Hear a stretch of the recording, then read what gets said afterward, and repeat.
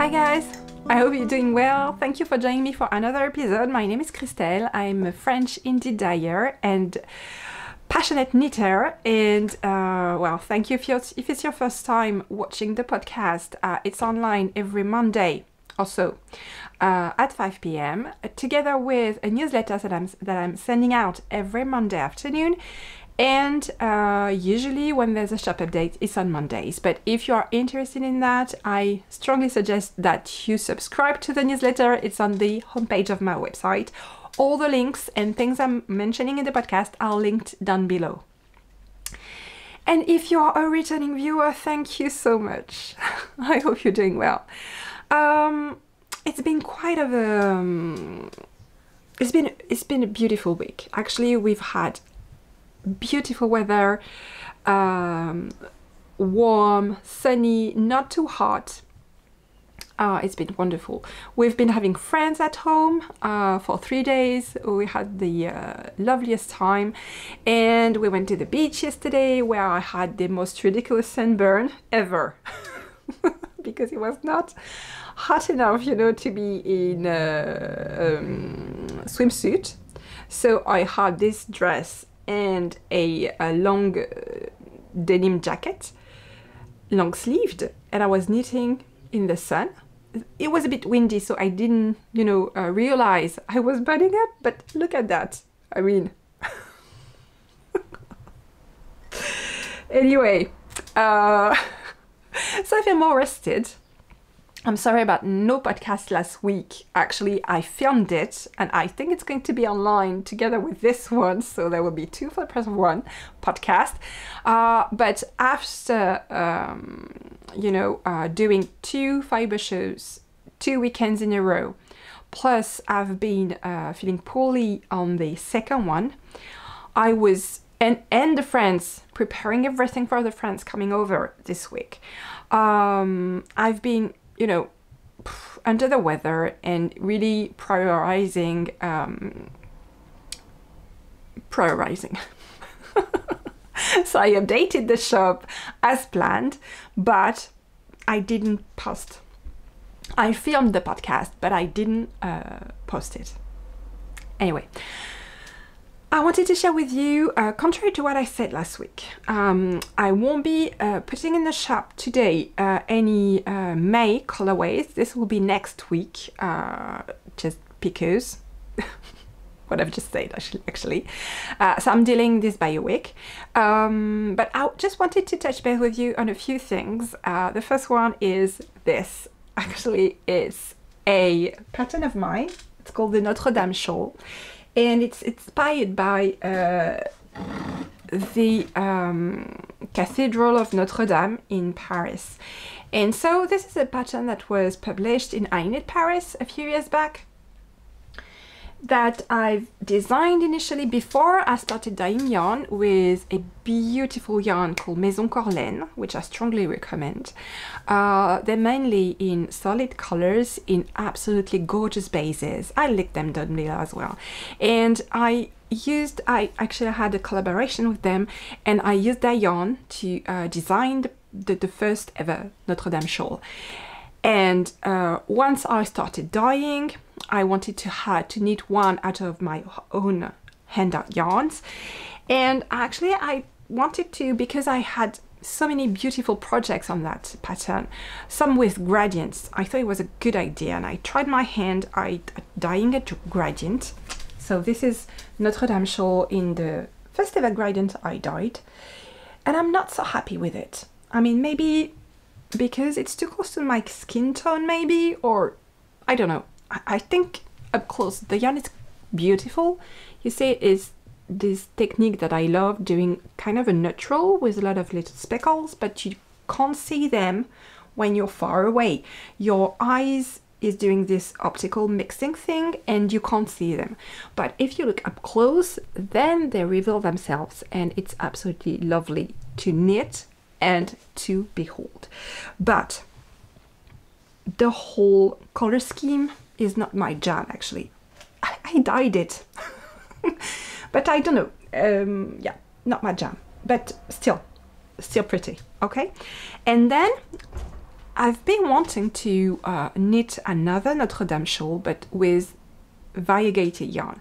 I know that you know consensus is that variegated yarn and texture and lace are not meant to be together, but I strongly disagree. I think you can hit a sweet spot where you have a lovely uh, variegated yarn or speckled yarn that matches perfectly with quite a simple lace and texture. And it's actually magical when you find that sweet spot. And I think Notre Dame has this potential. And I've been advocating for that for quite a while now, not having any um, enough time and not prioritizing that to do it myself. But I've been, um, you know, uh, advising my clients to my customers to do that and to try it. And one of one of uh, them actually surprised me at the last festival in Lenorama with this absolutely gorgeous piece, which is Notre Dame, knitted up with uh, variegated and semi-solid yarns and sparkle. And i think it's absolutely gorgeous and i just want one for myself absolutely. So the colorway in the middle is um, journée d'été and then you have the uh, neon, neon pink is eleanor. Then you have corrupted pink and darker things. And i'm in love with the result. I mean it's it's lovely. It's gorgeous it's everything I wished for. The only thing that would change actually is that I would go for another variegated yarn, especially in the middle. And I think I'm going to knit myself one at some point. I don't know when. but I think I'm going to knit myself one with only variegated yarns. I think a darker yarn works well for for the border, but I would definitely um, choose a variegated yarn for this part which is actually pretty simple and could totally work with a variegated yarn. But I mean, I'm so, so happy with the result and I'm so proud that that customer thought it was a great idea. She uh, actually went with me on that and she trusted me and the result is, in my opinion, absolutely beautiful. So yeah. this is going to stay with me. She um, actually she gifted it to me. Not well, it, it's just a um, she's lending it to me. Uh, for a few fairs, for a few fiber shows. Uh, I'm going to give it back in September, but it's going to be with me for a few months. So I might, you know, I might just knit my own actually. The thing is, I could actually because it's four skeins of yarn and it's not so I remember when I knitted it the first time it took me four weeks which for me is a record. But I was on my maternity leave at home I had a lot of time on my on my hands. So uh, four weeks could not be done today. Really not. But that client she told me two weeks it took her two weeks to knit it. Because some some sections like the pink section for example is pretty straightforward and it, you're always knitting in the round because it's a pie shawl. So yeah, I might, you know, I might just impulsively cast on, right? Um, the other thing I wanted to share with you is because on the last fiber shows in Alsace, I had quite a lot the same question, what to knit with one skein of yarn? What can I do with one skein of yarn? Actually, I thought I would give a I would dig it a, a bit deeper on that because even if it's been a long time since I've knitted a, a shawl out of only one skein of yarn, it's actually where I began uh, as a knitter. And um, because when I started buying hand dyed yarn, I was working full time with two kids and uh, didn't have a lot of money for my hobby. And so I was buying single skins, okay? Absolutely no money for a sweater quantity at that time. Not at all. Okay so i was buying only uh, single skins. and uh, at the time you know the big fade thing had not exploded yet. We're talking 2011 2012 And so I was, you know, looking for patterns, beautiful patterns that I could use where I could use only one skein of yarn. And I was much into shawls at that time. I'm still I, I am still into shawls, obviously. But at that time I was knitting only shawls. I, I think I had not um, took the plunge into sock knitting at that time. So I had quite a lot of, you know, patterns in my favorites um, for one skin shows. And now it's become a thing with, uh, for example, Joji Locatelli doing a lot of uh, one skin wonders uh, type of patterns. But at that time, there was nothing like that. So you had to dig a bit deeper to find those precious little beautiful shawlettes and, and all. And so I've put together a bundle of those kind of patterns that I, you know, took the time to curate and to uh, take inspiration from when I wanted, when I was looking for a one skein pattern. And uh, because I wanted to be able to show, and because, you know, looking at all those old patterns and uh, my old projects, I, I got the itch to cast on again. And I think I've, I've cast on for the first one I, I, I knitted actually out of my very first uh, skein of hand that yarn. Uh, it was Malabrigo at the time. And it's the Henslowe uh, by Beth Kling. And I still think to this day that it's the most one of the most beautiful shawl that I've ever knitted. And it's classic, it has a lot of flair, it's beautiful, the construction is really interesting because you start by uh, knitting this little garter stitch half uh, crescent shape and then you bind off uh, with a uh, elastic bind off. And then you pick up the stitches uh, because you start each row with a yarn over. You pick up the stitches and the yarn overs and you knit this beautiful dramatic lace border and then you have the picot and it, with that pattern I learned so much. And it's a pattern that works very well with variegated yarn which is actually my job. So I cast them for another one. So here's the beginning and you start with just one stitch and then you increase every row uh, making sure you have this lovely yarn over at the beginning in which you are going to pick up for the lace border afterwards. So it's going to be quick knit. This is one of the colorways that I did for my very first Barcelona Knits Festival two years ago. I don't remember the name. I'm sorry if anyone knows the name. Please let me know in the comments. Because I you know I I noted down the recipe but not the name. Anyway, I'm loving it. So the lace is simple enough that it's going to be gorgeous in this heavily variegated yarn. Um, it's absolutely lovely and I'm really happy and a bit emotional actually to be, you know, able to knit again on that pattern and it's like when I knitted that, it was in 2012. I had only two kids and I have no four. And uh, I'm kind of, you know, remembering and connecting to the person I was then. And my love and passion of yarn and knitting is intact. It has grown actually but I'm still relating a lot to that person 12 years ago. So that baby knitter, baby Christelle knitter, baby Christelle baby knitter, which I don't know. I hope you catch my drift, but anyway. Um, the last thing I wanted to share with you guys, uh, if you're into books, I'm much into books. Uh, I've just read this one, Asa Larsson, En Sacrifice à Moloch. I think in Sacrifice to Moloch would be the English title. It's been definitely translated to English as well from the oh, Swedish. It's Swedish. It was an a very good read. I would strongly recommend five stars out of five. Uh, I really love that uh, the uh, writer uh, gets a lot into the nitty gritty of, to, of everyday life. Little details that you can really relate to, like having a, a kind of a, a, you know, always a bit damp and moldy um, not tissue or thing you take to dry up the dishes. Uh, oh, I don't remember the name anyway. Uh, in your kitchen, even even if it's your kitchen is sparkly clean, uh, I would even say because you've been, you know, uh, cleaning your kitchen, you towel. towel.